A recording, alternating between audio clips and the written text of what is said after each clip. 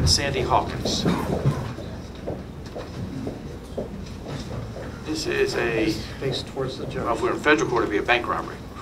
But here it's a straight robbery. We don't have a separate charge for bank robbery. Your Honor, my client is a 73-year-old man with no history, and he's retired.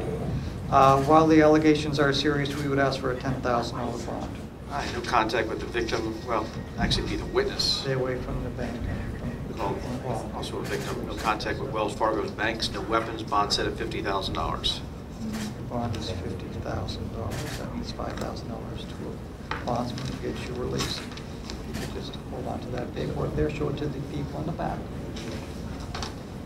Ron, that last one I find is a danger to the community.